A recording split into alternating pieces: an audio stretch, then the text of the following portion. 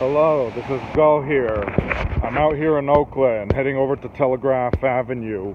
I mean, today's October 2nd, which makes it the first Friday of October.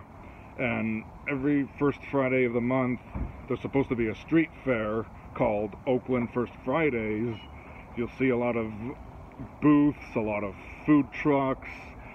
Um, but I guess, unfortunately, it's not happening this time during COVID 19, and I wonder when is it going to happen again. So let me just walk around and see how it looks like comparing to all the other times I've been to First Friday.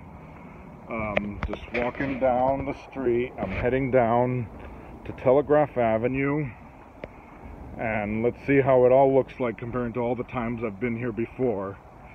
Um, walking, and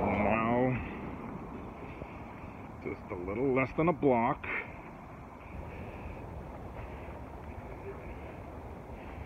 And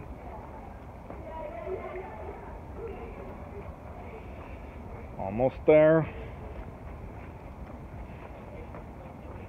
Just walking down.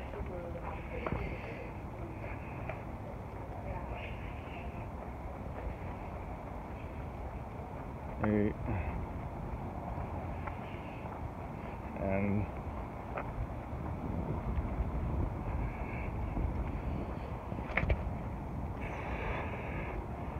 looking down. And I'm almost there. Let's see if it's still gonna have.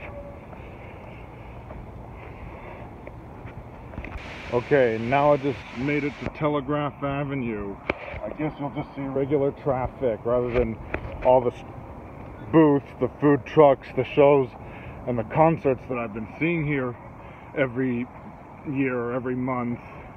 But I guess it's just way different, and now it's just all blank. It's all gone for now. But when is it going to come back soon? When are we going to get back to our entertainment? This is the main place I usually like to go to, which is the All Out Comedy Theater, and um, to see all the comedy shows. But I guess it's just not going to happen for the moment. But you know, I just wonder when is it going to happen again. Hopefully, sometime next year if they're going to unite it back up. But instead of a street fair, there's just traffic.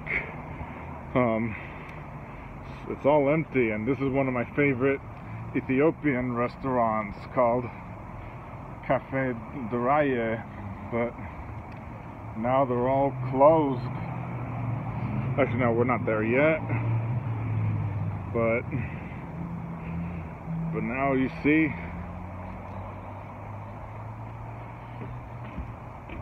I think this is very delicious vegetarian Ethiopian food, but they're closed for now.